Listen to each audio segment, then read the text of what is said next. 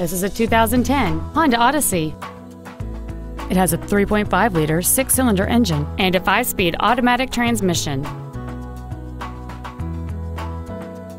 Features include a sunroof, heated seats, a navigation system, a parking camera, voice activation technology, traction control and stability control systems, side curtain airbags, air conditioning with automatic climate control, cruise control, and this vehicle has fewer than 43,000 miles on the odometer. Please call us today for more information on this great vehicle.